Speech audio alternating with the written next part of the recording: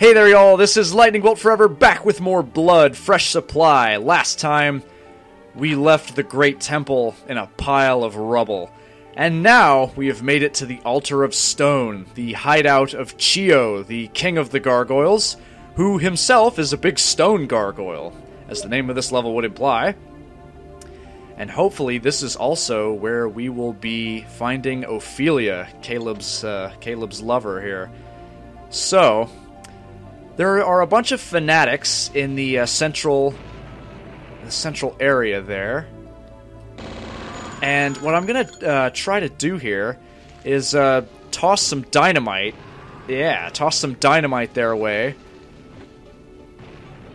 Oh, one of them, one of them, uh, one of them got alerted to my to my presence here.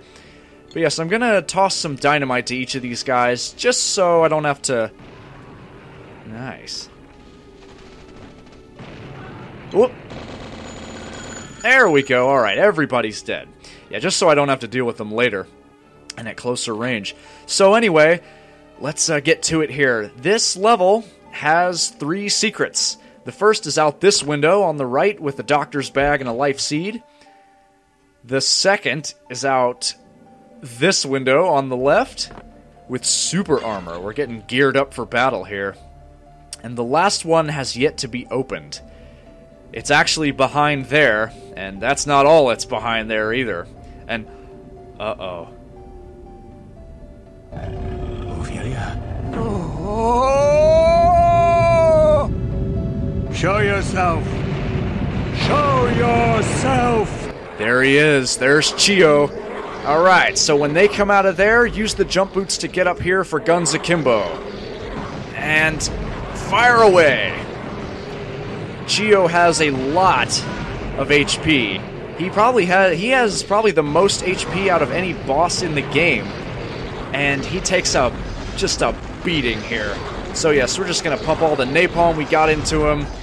He uh, has this attack with his eyes there. He can shoot these uh, blue projectiles at you, these fireballs, and they hurt. So don't let uh, don't let him hit you with them. Anyway, they can easily be avoided by circle strafing though. But more importantly, if you wanna if you wanna cheese him here, you can crouch underneath of him, and he cannot hit you. That uh, that works for.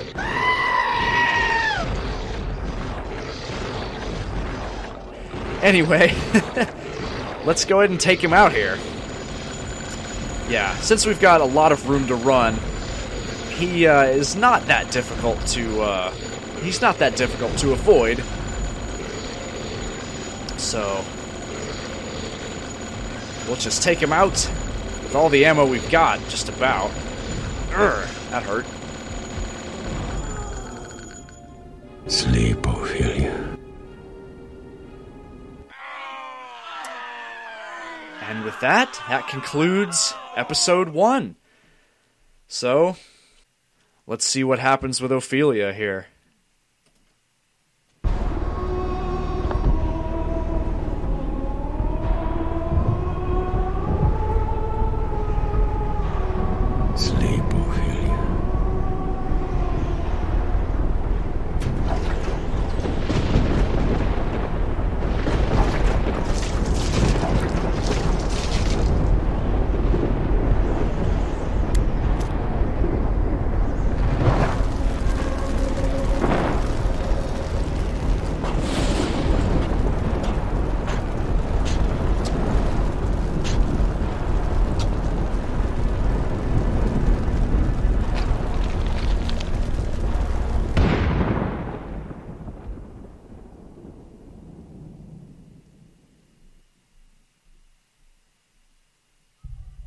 Oh my god, just so badass, just so awesome.